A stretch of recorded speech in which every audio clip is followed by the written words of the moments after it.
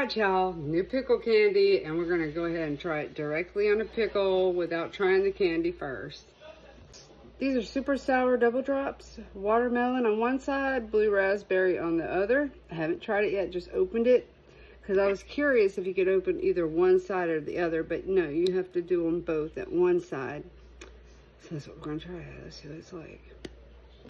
I'm using my favorites. Um, there's already one here I started on, you know. So I haven't had anything to eat yet today, so my palate is clean.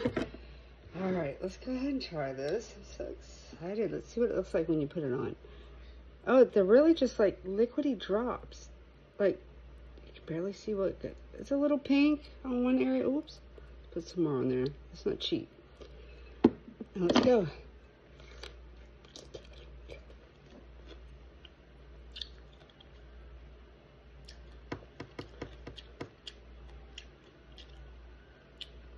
Oh.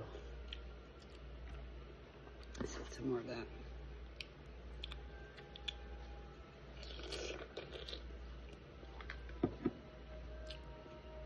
Ooh. Ugh. Ooh. That's weird. It starts off sweet, like the first scent, like your senses. But then it's like sour.